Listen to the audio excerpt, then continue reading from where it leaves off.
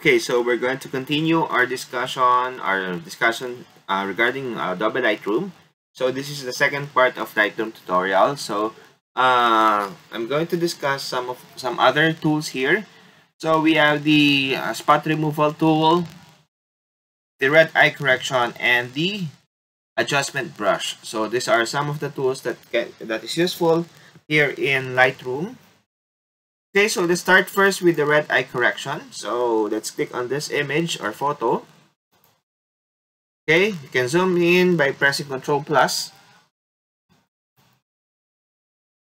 Okay, so you can scroll. So basically, we're, we're going to use the red eye correction to remove a red eye effect every time you take a photo. So basically, this happens if you have a, a single flash. So basically, the eye is not yet prepared for a particular bright light. So it produces a red light upon uh, receiving a receiving a burst of light uh, uh, burst of light in front of the eye. So uh, that's why it happens on photos. Just uh, um, uh, for modern modern cameras, so uh, as you can uh, observe, that uh, more modern cameras always flashes twice. So it flashes first, then uh, again, uh, it poses and flashes again. So the purpose of that one is that it uh, it makes the eye prepared. So once you uh, click flash, so the red eye pigment will appear, and once you uh, once once it flashes again, so basically wal, uh, wala ning red eye wala ning red eye effect. Okay? So, but if if in case there is still a red eye effect on, on on your photo, you can still use the you can use the red eye correction here. Okay, all you have to do is click click the red eye correction uh, tool. Then you can draw. Okay, so as much as possible, uh, you select portion of the eye. Okay, so same also on, on this one. Okay, you can click and drag. Okay, so it reduces so it reduces the red eye effect on on your photo. If you're done, just click done. Okay, so that is the purpose of the red eye correction. Okay, next is we're going to use the spot healing or the spot removal tool. Okay, so from the word itself, so it means that you're going to remove spots on photos. So just like in the photo, you have uh, different spots here. So we're going to use the spot removal tool. So all you have to do is you can still you can still resize the control uh, the square bracket. You can use the square bracket to resize, to increase or decrease the size of the of the tool.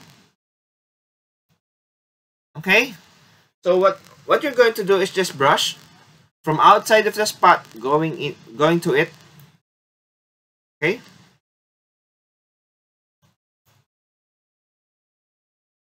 Automatically, it will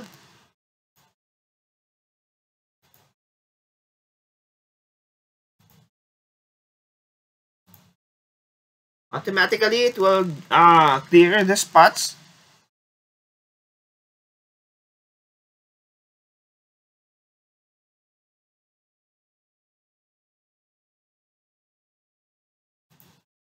Uh, okay let's do the same thing here.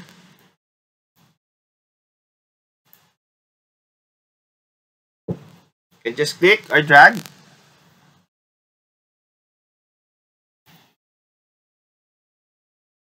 Okay, so for our next tool, we're going to use the adjustment brush.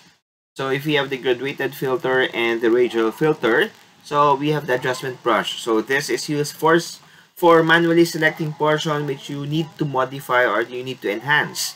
Okay, if the gradi the the uh, graduated filter is for linear adjustments and the radial filter or for is for circular adjustments, so the brush is uh, gives you the uh, flexibility of selecting portion of the photo which you need to adjust.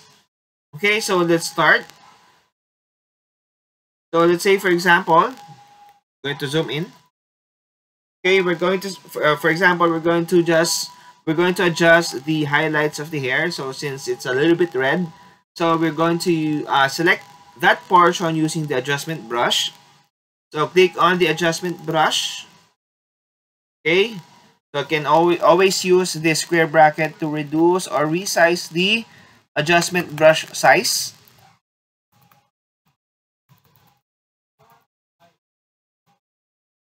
Okay.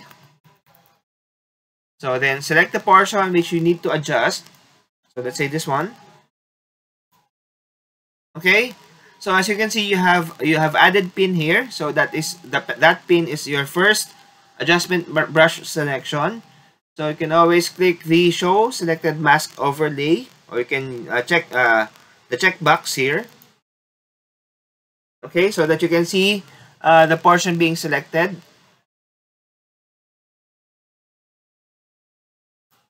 Okay, so the red portion here is the portion selected.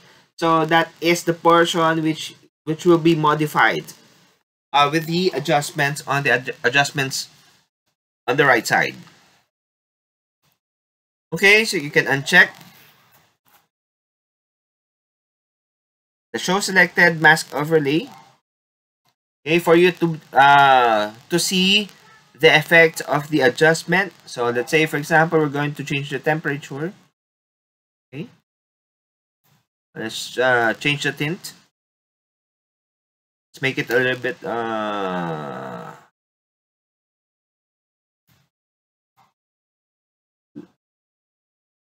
little bit uh, uh, uh, more reddish.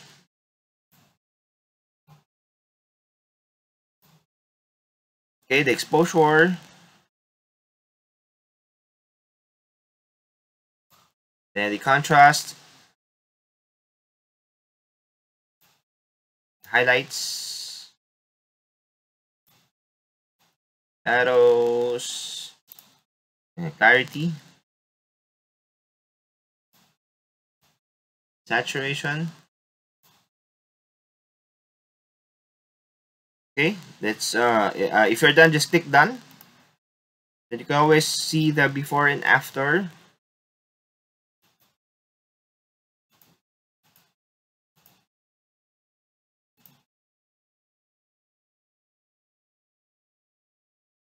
Okay, you can always go back, just click the adjustment brush, then take the pin.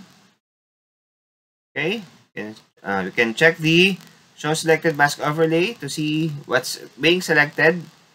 So since this is an existing pin, you can always change this one, modify this one if you want. Okay, if you're done, just click done.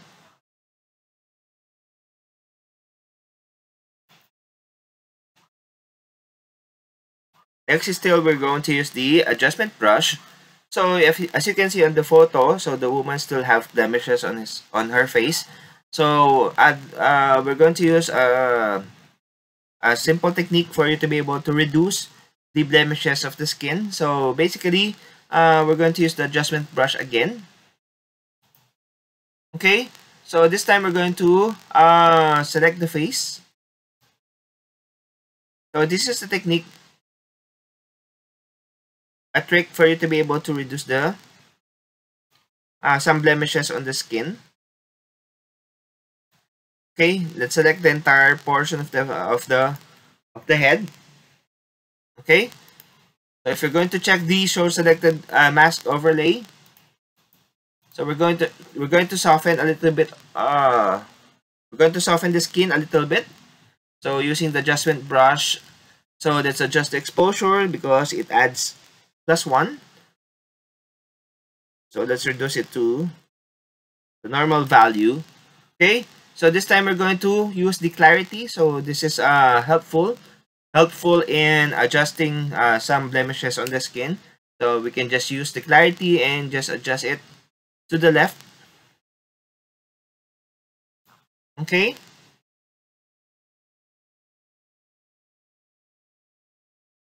Okay, so don't worry if the eyes and the other parts of the face uh, smoothens also. So it may not look good if especially if you're going to apply multiple times of uh, of clarity, of uh, lessening the clarity, uh, we're going to reverse the process on those parts. Okay, so uh, we can still do add another adjustment brush.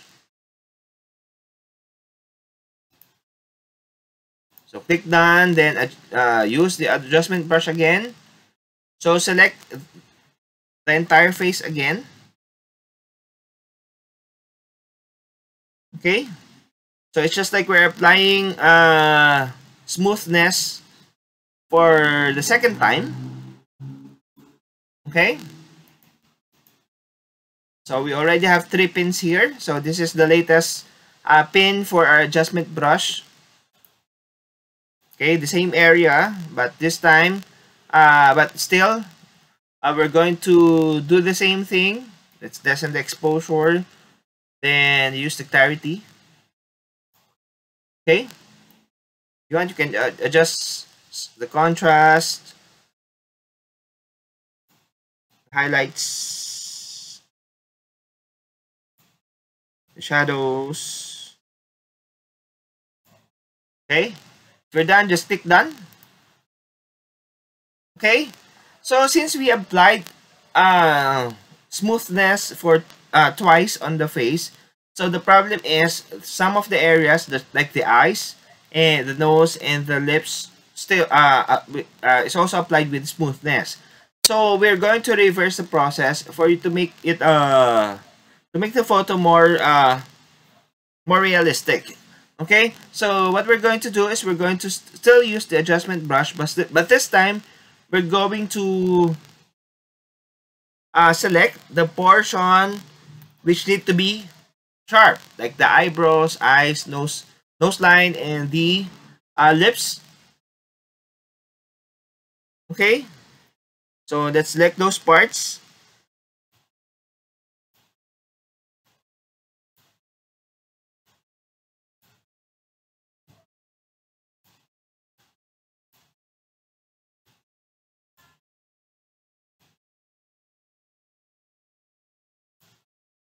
Okay.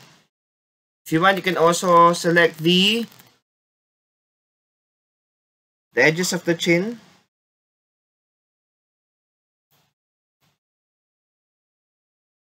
The neck color. Okay. So because those parts will be reciprocated uh, with the process. If we smoothen the entire face uh, twice uh, previously, so this time we're going to sharpen it. Okay, so this is the portion being selected. Okay, goes to the adjustment, make the exposure zero. Okay. Then this time, uh, the clarity should be, uh, we're going to add clarity.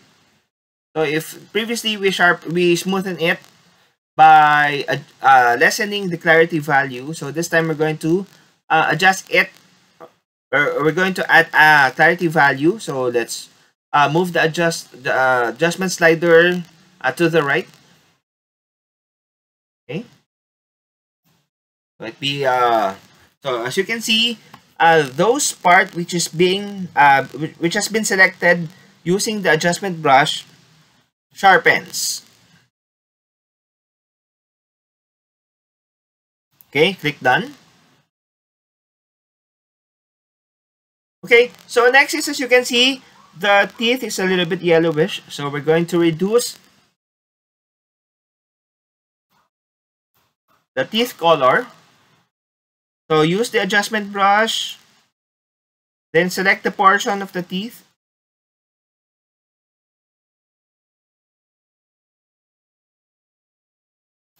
Okay, so this is the portion being selected. So the teeth portion is the portion being selected. Okay. So this is the portion that is being selected. So again, the exposure, let's uh, move it to zero because uh, it automatically adds uh, plus one. Okay. So this time we're going to uh, reduce the saturation and to make it a little bit whiter Then the clarity.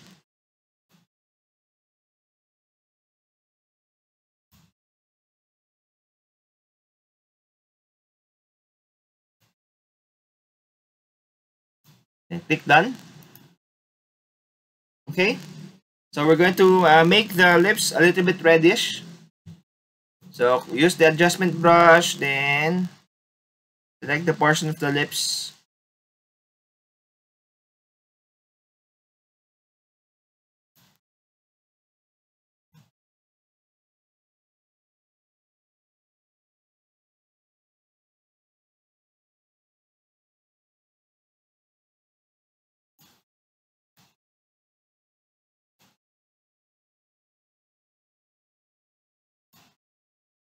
Okay, so this is the portion being selected. Let's reduce the exposure again. Let's bring it to zero. Then let's adjust the saturation. Okay, click done if you're done. Go back to the photo. Then look for the before and after. Okay, so those are the simple technique uh, using adjustment brush to reduce some blemishes on the skin.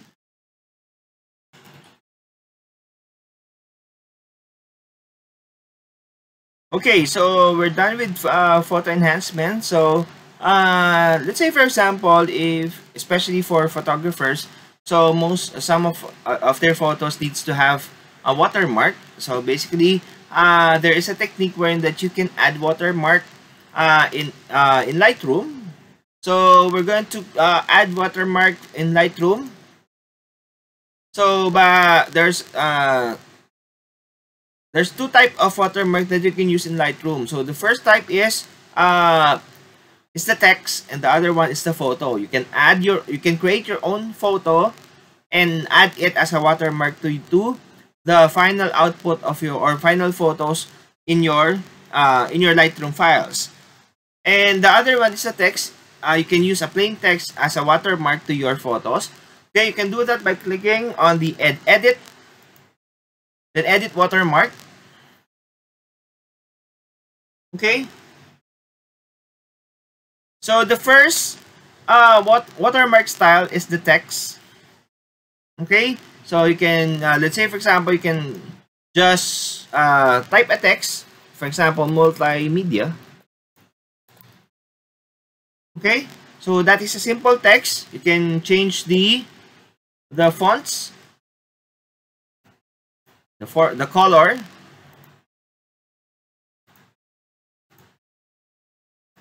You want. Then the opacity, the offset, the, the offset or the shadow.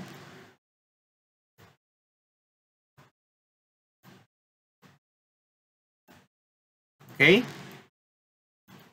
So we have the horizontal inset or the alignment uh, vertically and horizontally. So the anchor or the location of the watermark. Okay. So if you're done, you can click save or you can create your uh, your new preset or your new watermark preset. So just click save current settings. So let's say for example, this will be a sample watermark text. Okay? So that it uh, for you to be able to easily select a particular watermark and apply it on the photo. Just click create. Then done. Okay? Uh, for you to be able to apply the watermark, so you need to export the photo so just right click, export, then export. Okay, so we have the uh, the path, the Lightroom export folder. So scroll down, then you can you have the watermarking uh, checkbox here. Just click watermark. Okay, so if you're going to click the drop down, the watermark that you uh, you saved earlier will, will be on the selection. So just click sample, sample watermark text or the previously created watermark uh, preset, then click export. Okay, so once exported, so this is the output. Okay, so as you can see, you have the watermark that you did, yeah, that you used uh, in Lightroom. Okay, so aside from text, you can also use uh, a photo. You can also use a photo for you to be able to use to use it as a watermark.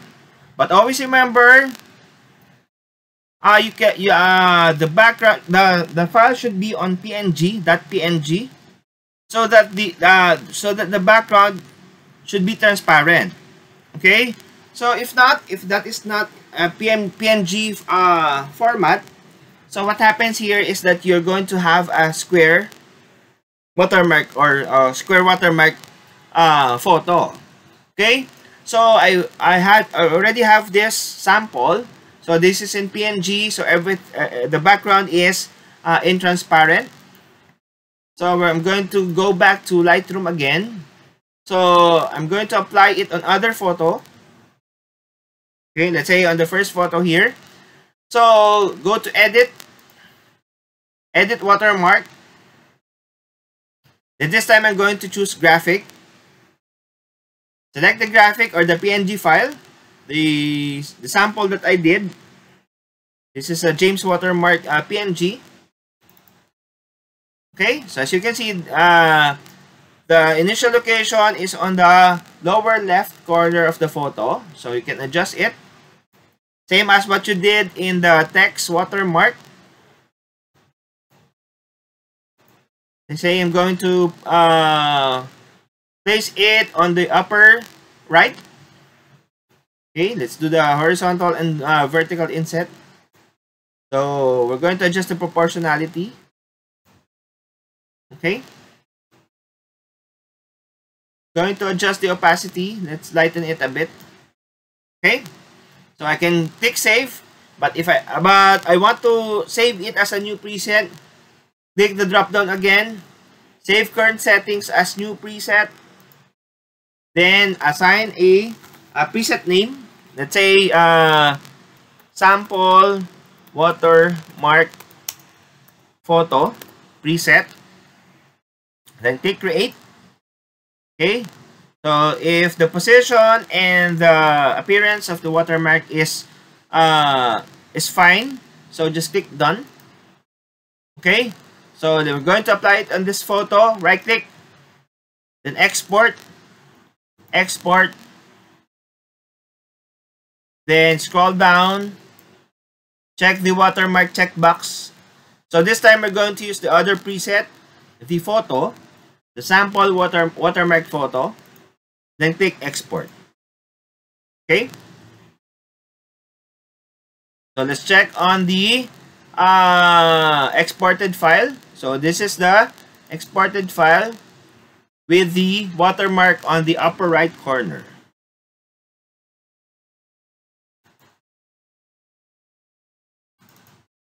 Okay.